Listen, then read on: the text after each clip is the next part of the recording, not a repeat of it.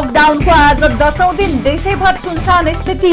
Lockdown अवज्ञा गर्ने प्रहरी नियन्त्रणमा दैनिक ज्याला मजदुरी गर्ने श्रमिक वर्ग मारमा कञ्चनपुरका सीमा नाकाबाट लुकी छिपी नेपाल प्रवेश गर्ने क्रम अझै रोकिएन।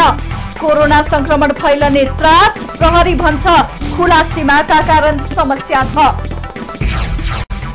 र कोभिड उन्नाइसले विश्वभर अडचालिस हजार भन्दा बढीको मृत्यु नौ लाख चौन्न हजार भन्दा बढी संक्रमित दुई सय तीन राष्ट्र प्रभावित। सतर्कता अपनाउन डब्लुएचओको अपिल।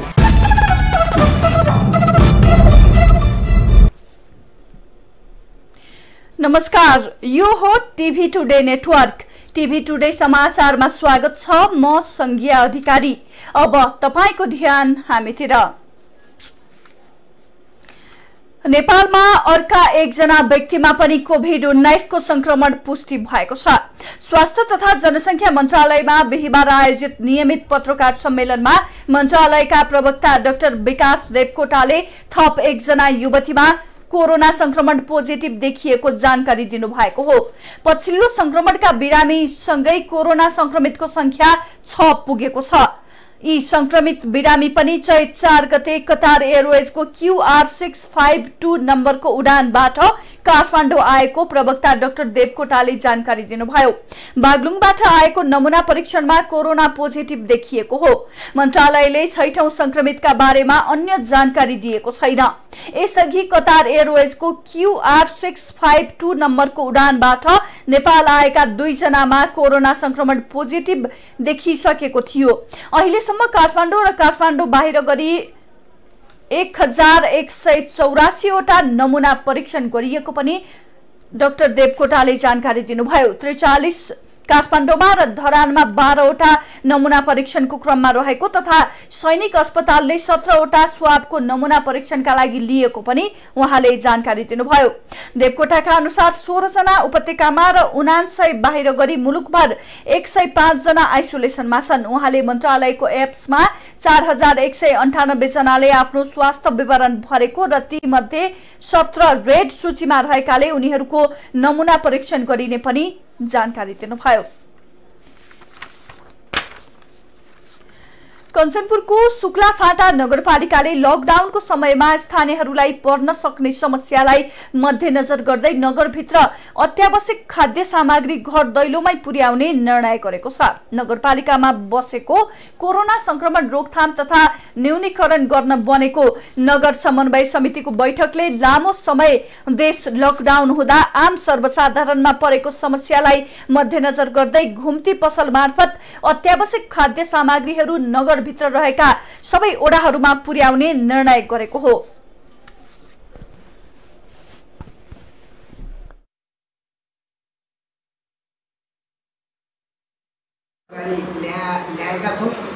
हामी घुम्ती पसललाई अगाडि बढाउँदैछौँ। आपूर्ति भण्डारलाई सहज बनाउँदैछौँ। त्यति मात्रै होइन अहिले विदेशबाट आएका बाह्र लगायत तेस्रो मुलुकबाट आएको तथ्याङ्क आएको छ। उनीहरूसँग सम्पर्क गर्ने कुरा अगाडि बढाइरहेका छौँ। नगरमा रहेका छवटा स्वास्थ्य संस्था र दुईवटा आइसोलेसन केन्द्रलाई चौबिसै घन्टा सेवामा अपटुडेट ढङ्गले अगाडि बढाएका छौँ। लकडाउनका कारण उपभोक्ताहरू मारमा परेपछि कञ्चनपुरको भीमदत्त नगरपालिकाले यसअघि नै घुम्ती सेवा मार्फत आम सर्वसाधारणहरूलाई दैनिक उपभोग्य वस्तुहरूको आपूर्ति गरिरहेको छ भने अन्य स्थानीय तहहरूले समेत तयारी थालेका छन्। कोरोना संक्रमणको त्रासका कारण भारतबाट नेपाल फर्कन खोजेका तर महाकाली पारी अलपत्र परेकाहरूको हकमा सर्वोच्च अदालतले अन्तरिम आदेश दिन अस्वीकार गरेको छ।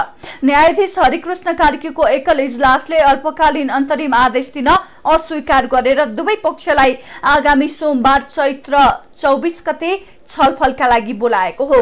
त्यति बेला भने सर्वोच्चले अन्तरिम आदेश दिन सक्नेछ।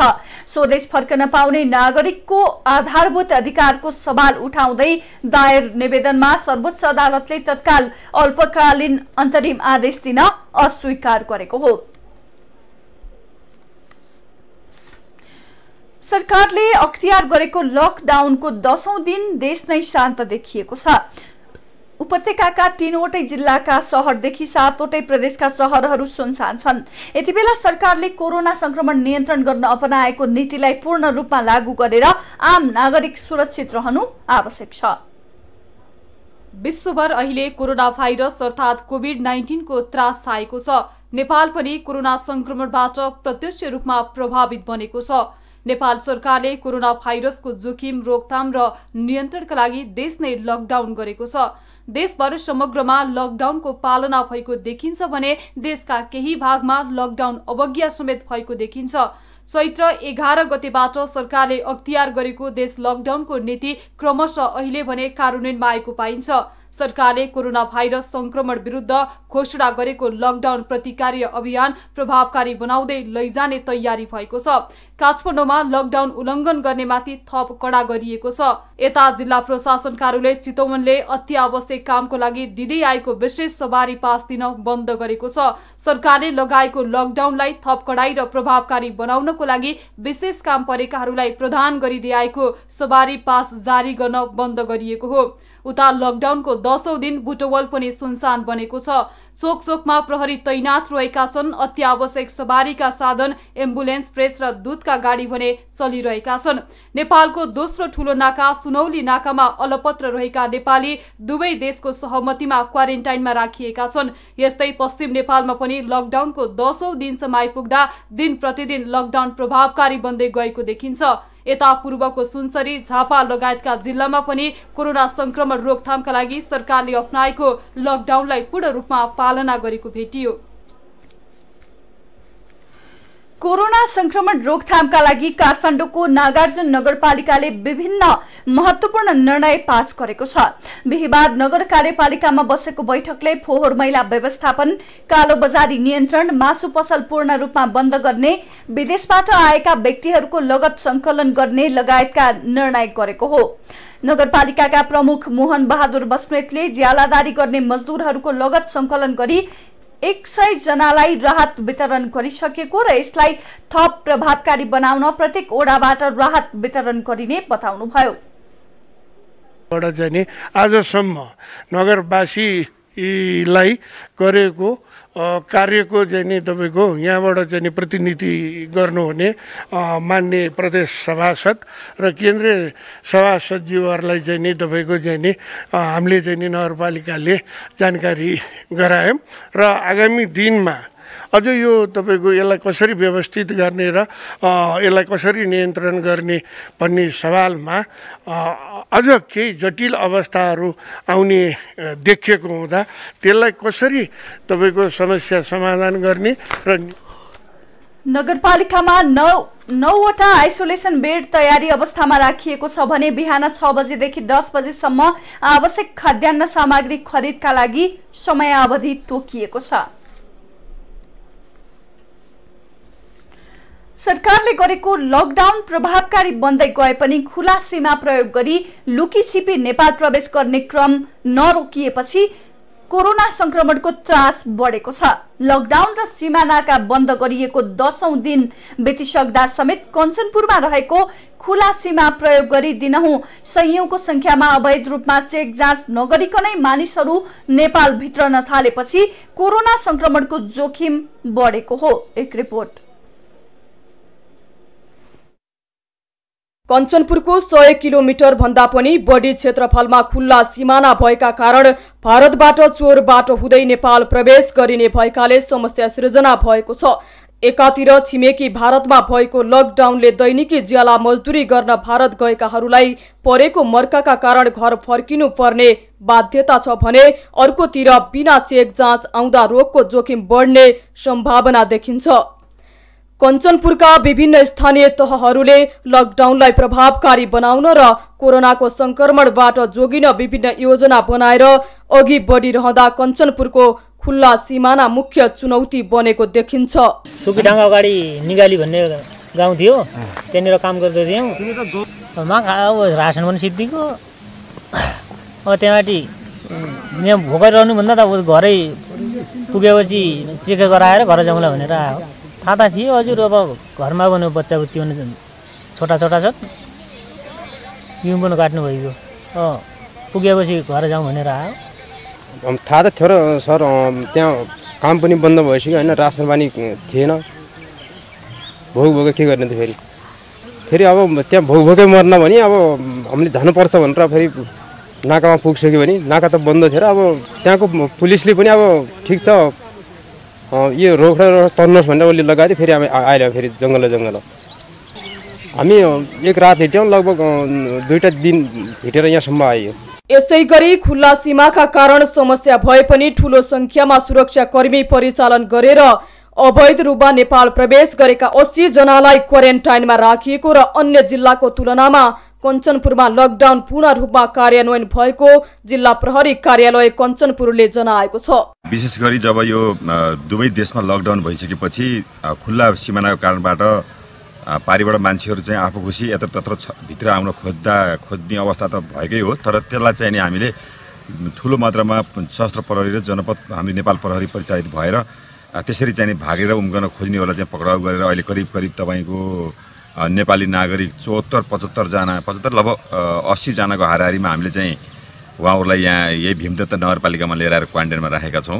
लकडाउन अवधिभर भारतमा रहेका नेपालीहरूको भारत सरकारले र नेपालमा रहेका भारतीयहरूलाई नेपाल सरकारले खाने बस्ने व्यवस्था मिलाउने भनिए पनि अन्य बेला सीमामा दुःख दिने भारतीय प्रहरीहरूले समेत नाका बन्द भए पनि खुल्ला सीमाबाट नेपाल प्रवेश गर्न सघाइरहेको पाइन्छ।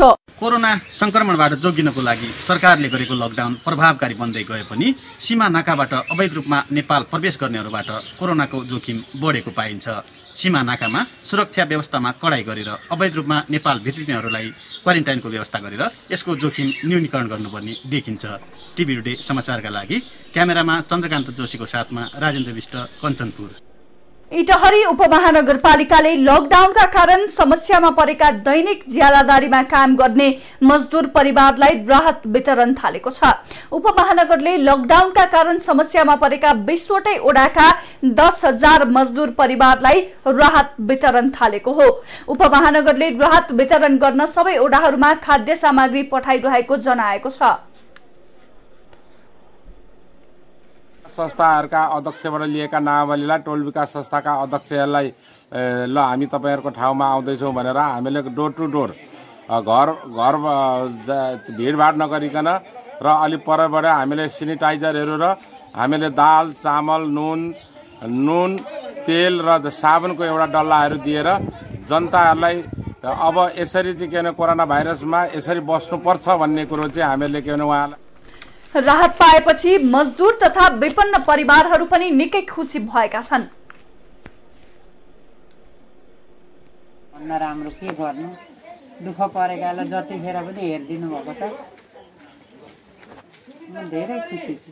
पाएँ त अब भइगयो छोराको भइगयो बाउले खाना पाइयो नि पाइयो नि, जसले भए उपमहानगरले ओडाको सिफारिस अनुरूप विपन्न र दैनिक ज्यालादारी गरेर जीविकोपार्जन गर्ने नागरिकको लगत संकलन गरी राहत वितरण गर्दै आएको जनाएको छ।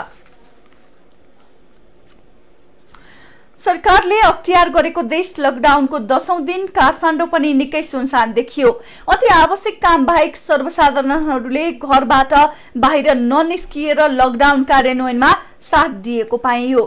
सधैँ व्यस्त देखिने काठमाडौँको कोटेश्वर चोक भने आज निकै शान्त देखियो। कोभिड नाइन्टिन अर्थात् कोरोना भाइरस रोकथामको लागि सरकारले गरेको दशौँ दिन पनि लकडाउनलाई जारी राखिएको छ। यो लकडाउन कार्यान्वयनको चरणमा गइरहेको हामी देख्न सक्छौँ। हामी काठमाडौँको कोटेश्वरमा छौँ अहिले। यहाँ अत्यावश्यक सरसामान बोकेका सवारी साधन र अत्यावश्यक सामान बोक्ने स्थानीयहरू बाहेक अरू कुनै पनि सडकमा आइरहेको अवस्था छैन। भिडभाड शून्य देखिन्छ। सहर बजार एकदमै शून्य अवस्थामा छन्। जसबाट बजार लामो समयसम्म बन्द रहँदा अर्थतन्त्रमा धेरै ठुलो नकारात्मक असर परे तापनि यस महामारी विरुद्ध लड्नको लागि सरकारले लिएको यस कदमलाई सराहनीय रूपमा लिन सकिन्छ। हामी देख्न सक्छौँ कि यहाँ पूर्ण रूपमा सवारी साधन बन्द नभए तापनि अत्यावश्यक सामान बोकेका जस्तै खाद्य वस्तु बोकेका साम सवारी साधनहरू बिरामी बोकेका एम्बुलेन्सहरू बाहेक प्रेसका बाहेक अन्य कुनै चल्न सकिरहेको अवस्था छैन। यस्तै ग्यास ओसार पसार गर्ने स्थानीय बासिन्दाहरूलाई पनि हामी यहाँ देख्न सक्छौँ। पानीहरू पानी लिइरहेका जार बोकेर हिँडिरहेका स्थानीयहरू हामी देख्न सक्छौँ र अन्य अत्यावश्यक काम बाहेक घरबाट बाहिर निस्किएको कोही पनि देख्न सकिँदैन। लकडाउन चाहिँ अहिले कार्यान्वयनको चरणमा छौँ हामी भन्न सक्दछौँ। कोभिड नाइन्टिन अर्थात् कोरोना भाइरस पछिल्लो समय विश्वव्यापी रूपमा महामारीको रूप लिइरहेको छ। यसले पछिल्लो समय युरोपियन कन्ट्री र यस्तै अमेरिका जस्ता क्षेत्रहरूलाई पनि अहिले धेरै धराशायी बनाएको अवस्था हो। नेपालमा पनि पाँचजनामा सङ्क्रमण देखिसकेको अवस्था छ भने एकजना एकजनामा निको भइसकेको अवस्था छ।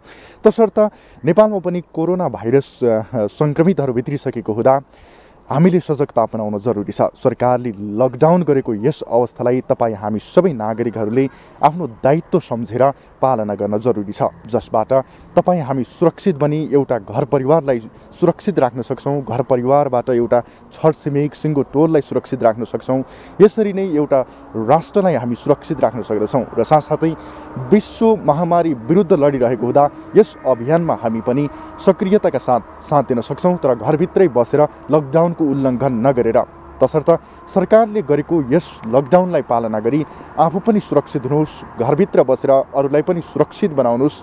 कोरोना भाइरस विरुद्ध लड्नको लागि तपाईँ हामी सबैजना सशक्त हौँ। सरकारले दिएको निर्देशनलाई पालना गरौँ। लकडाउनलाई कार्यान्वयनको चरणमा पुर्याउनको लागि आ आफ्नो स्थानबाट साथ दिउँ। क्यामेरामा कमल जोशीको साथमा राजेन्द्र भट्ट कोटेश्वर काठमाडौँ। कैलालीको गोदावरी नगरपालिकालाई नेकपा गोदावरी नगर committee Godavari chamber of commerce र मस्टाधाम व्यवस्थापन समितिले खाद्यान्न सहयोग गरेका छन्।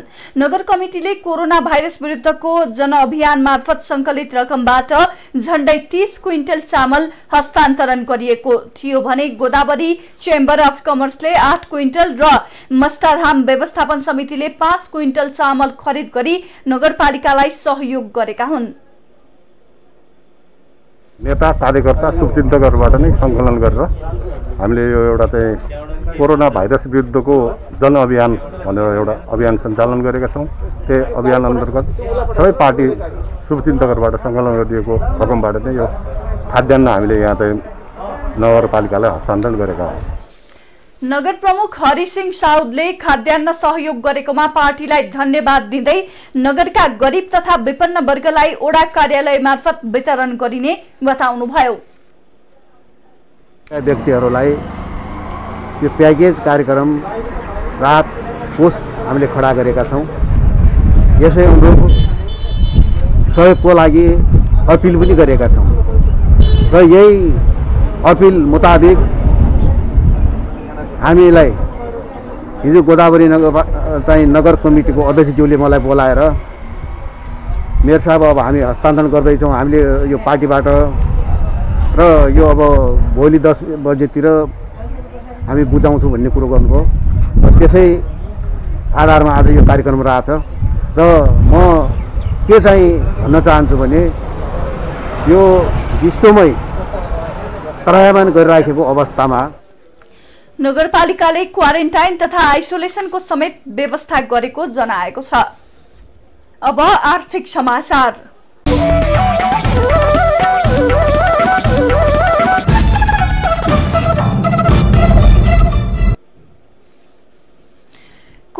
भाइरस फैलन नदिन सरकारले गरेको लकडाउनको समयमा जिल्लामा खाद्यान्न अभाव नहुने गुणस्तर व्यापार कम्पनी बाजुराले जनाएको छ।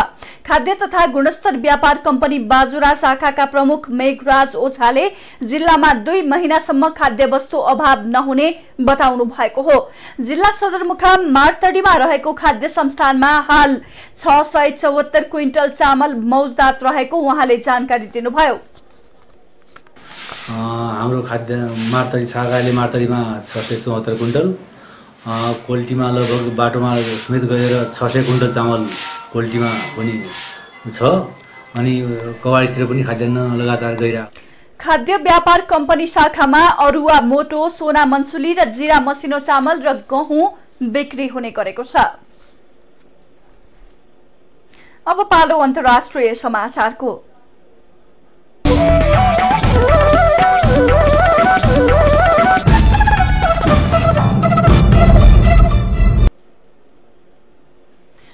विश्वभर महामारीको रूपमा फैलिरहेको कोरोना भाइरसका कारण दुई सय तीन राष्ट्र प्रभावित भएका छन्। भाइरसको संक्रमणबाट मृत्यु हुनेहरूको संख्या अहिलेसम्म विश्वभर अडचालिस हजार नाघिसकेको छ। नौ लाख चौवन्न हजार भन्दा बढीमा संक्रमणको पुष्टि भइसकेको छ। संक्रमितहरू ठूलो संख्यामा उपचारपछि निको भएका छन्। पछिल्लो तथ्याङ्क अनुसार दुई लाख दुई हजार भन्दा बढी संक्रमित उपचारपछि निको भएका छन्। विश्वव्यापी महामारीको रूपमा फैलिएको कोरोना भाइरसको संक्रमणको प्रभाव पछिल्लो समय सबैभन्दा बढी इटालीमा परेको छ। इटालीमा तेह्र हजार एक सय बढीको ज्यान गएको छ। स्पेनमा दस हजार बढीको मृत्यु भएको छ। यता अमेरिकामा सबैभन्दा बढी दुई लाख पन्ध्र हजार भन्दा बढी संक्रमित भेटिएका छन्। पाँच हजार भन्दा बढीको मृत्यु भएको छ। यता छिमेकी मुलुक भारतमा कोरोना संक्रमितको संख्या बढेर दुई हजार बढी पुगेको छ भने अन्ठाउन्न जनाले कोरोनाकै कारण ज्यान गुमाइसकेका छन्। समाचार सकियो। समाचारबाट बिदा लिनु पूर्व प्रमुख समाचार फेरि एकपटक। नेपालमा अर्का एकजनालाई पनि कोरोनाको संक्रमण चैत चार गते कतारबाट आएका थप एकजनामा संक्रमण पुष्टि भएसँगै संक्रमितको संख्या छ पुग्यो। भारतीय भूमिमा अलपत्र परेका नेपालीलाई स्वदेश फर्कन सर्वोच्च अदालतले दिएन अन्तरिमादेश। सीमानाका निर्वाध सञ्चालनका लागि परेको रिटमा चौबिस गते सुनवाई हुने। नेपाल लकडाउनको आज दशौं दिन देशैभर सुनसान स्थिति। लकडाउन अवज्ञा गर्ने प्रहरी नियन्त्रणमा दैनिक ज्याला मजदुरी गर्ने श्रमिक वर्ग मारमा